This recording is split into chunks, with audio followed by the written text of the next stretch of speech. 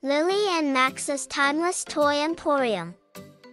Lily and Max were exploring their grandmother's attic when they stumbled upon a hidden doorway covered in vines.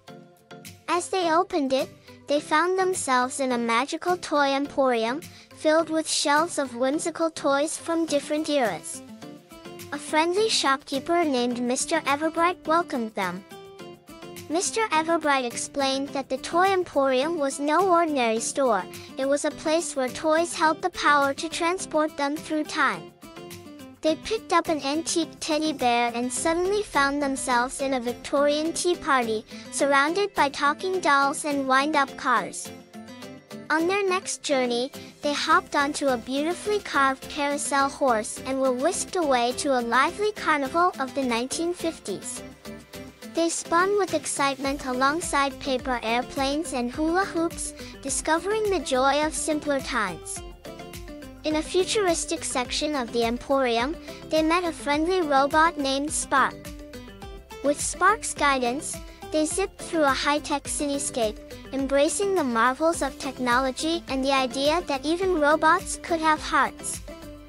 Their travels continued, taking them to ancient civilizations, medieval castles, and even to a future where people traveled on hoverboards. They realized that every era held its own kind of magic and that each toy was a gateway to a new adventure. At the heart of the Emporium, they discovered a glowing crystal.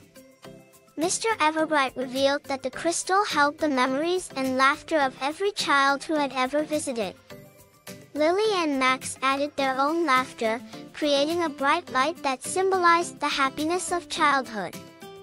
As their time in the Emporium came to an end, Mr. Everbright thanked them for sharing their joy and reminded them that the magic of the toys existed within their own hearts. They stepped back through the hidden doorway, carrying the memories of their adventures with them. Back in their grandmother's attic, Lily and Max realized that the time-traveling toys had taught them that the magic of play and imagination could transcend time and space. They understood that no matter their age, they could always find joy in exploring the world around them. Lily and Max continued to treasure the memories of their time-traveling adventures.